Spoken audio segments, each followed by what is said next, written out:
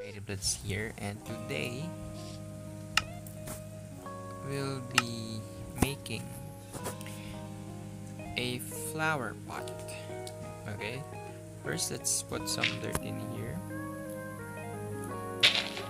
And that's it. So now we have our flower plant or plant. Yeah this plant so yeah guys thank you for watching and as always I'm Brian okay don't forget to like okay? So my past video I told you if you want to like the video like it. If you don't like then click the dislike.